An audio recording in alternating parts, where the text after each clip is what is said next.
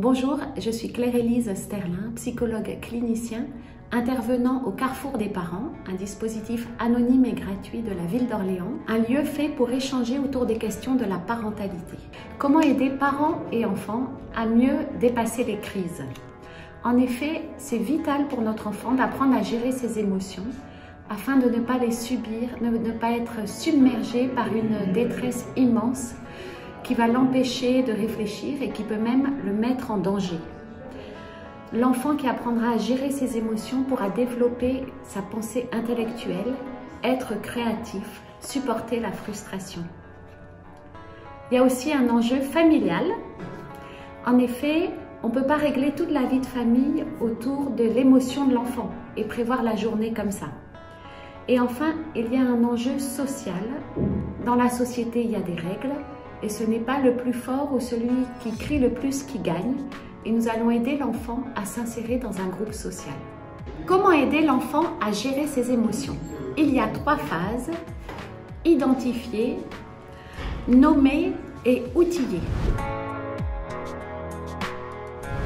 Il pleure. Est-ce qu'il a faim? Est-ce qu'il est fatigué? Est-ce qu'il a une tristesse parce qu'il a vu un gros chien? Est-ce qu'il a perdu son jouet? À chaque âge, ses soucis. Une fourmi écrasée peut prendre une dimension énorme chez un jeune enfant et il ne faut pas se moquer de lui, ne pas lui dire ce n'est rien, ne pas lui dire tu es colérique, ne pas lui dire tu pleures comme un bébé. Il est important pour l'enfant de lui reconnaître le droit à ressentir des émotions. Les émotions le submergent et c'est notre rôle de parent de les recevoir. Il faut aussi identifier nos émotions à nous parents. Qu'est-ce que je ressens quand l'enfant pleure? Est-ce que ça m'énerve? Est-ce que je me sens démunie? Est-ce que je me sens attaquée? Pour éviter à nous de réagir de façon trop forte et trop violente. Il faut savoir comment cela résonne en moi. Et je rappelle que gifler n'est pas une situation éducative. L'idée est d'accueillir cette émotion négative sans se laisser atteindre au plus profond de nous et de redonner du positif à l'enfant. Et si on ne s'en sent pas la force, il ne faut pas hésiter à passer la main à son entourage. Après avoir identifié les émotions de l'enfant et compris les nôtres, il nous faut aussi identifier la situation qui déclenche la crise. Qu'est-ce qui déclenche la crise chez l'enfant? L'ennui, les écrans, une règle de vie mal comprise? Vous voyez, les situations sont nombreuses et on peut les anticiper et y remédier. Après avoir identifié les émotions de l'enfant, du parent et identifié la situation, il faut nommer et expliquer les émotions de l'enfant et les nôtres.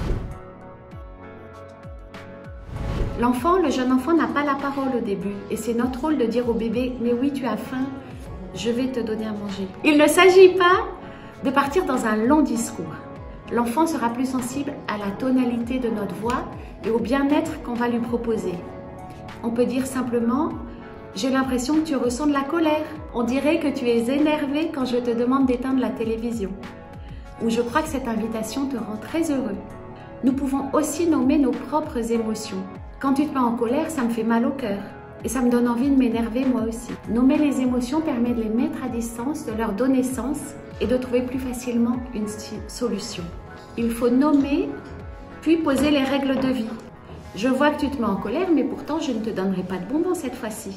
Et il ne faut pas hésiter à faire du renforcement positif à valoriser les bonnes réactions des enfants. Je vois que tu as réussi à ne pas te fâcher inutilement aujourd'hui. N'hésitons pas, nous les parents, à partager aussi nos émotions, le vécu de notre journée, le soir à table. Ah bah j'étais content aujourd'hui parce que mon collègue euh, m'a partagé quelque chose. Il faut nommer, mettre en mots les émotions. Si la parole et le dialogue ne suffisent pas, éloignez l'enfant, mais toujours en maintenant le lien, avec la promesse d'un dialogue ensuite. Tu es en colère, je ne veux pas de ce mode de relation. Tu vas dans ta chambre et nous en reparlerons ensuite calmement. Ou proposer un autre mode de relation. Je te sens triste, viens à côté de moi faire un câlin. Parfois, on n'a pas besoin de mots, mais juste une présence consolante. Et attention, pour être consolé, un enfant a besoin d'une présence humaine, vraie. Un téléphone, un écran ne console pas. Il détourne l'attention, mais l'émotion négative restera toujours là et ressortira plus tard. Surtout, surtout, pas de violence, pas de privation de repas et pas de mise au lit sous forme de punition. Ça ne consolera pas du tout votre enfant et ça ne fera pas avancer l'affaire. Les cris sur nos enfants les stressent plus que tout. Si nous crions, il va crier en réponse. Ça s'appelle les neurones miroirs. Et enfin, parents, osez la souplesse. Chaque enfant est différent, chaque enfant a une sensibilité différente. Et ce qui marche avec l'aîné ne marche sans doute pas avec le second ni avec le dernier. Donc le travail des parents, c'est sans cesse de se remettre en question.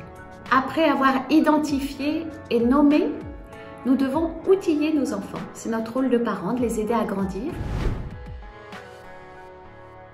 Trouver des solutions avec lui après coup pour prévenir la prochaine fois. Quand tu sens la colère monter en toi, dis-le-moi. Éloigne-toi un peu de cet enfant qui t'agace. Tu n'aimes pas du tout quand je te demande de faire les devoirs. Tu t'énerves. Comment est-ce qu'on pourrait faire? Est-ce que tu veux t'organiser tout seul? Puis après, je vérifie. Comment je peux t'aider? Voilà. Et surtout, les parents, oser poser des règles de vie et le faire participer à la vie de famille.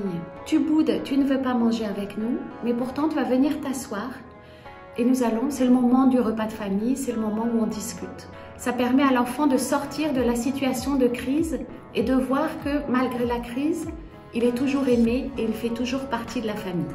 Pour terminer, quelques petits conseils pour une vie paisible en famille avec votre enfant. Surtout, respectons les rythmes de nos enfants. On ne va pas faire les courses à l'heure de la sieste. On a des horaires réguliers. Ça permet à l'enfant d'anticiper, de gérer mieux ses émotions. Un autre conseil, ne pas demander à l'enfant de gérer ses émotions comme un adulte, il en est incapable. Jusqu'à 4 ans, il ressent émotionnellement très fort ses émotions et il ne peut pas du tout les maîtriser. Enfin, dire les règles de vie à l'avance.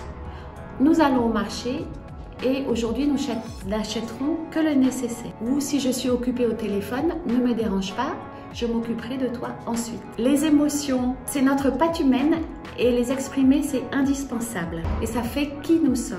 Notre rôle de parent va permettre à nos enfants de ne plus les subir, mais de bien grandir en étant soi-même et en relation avec les autres.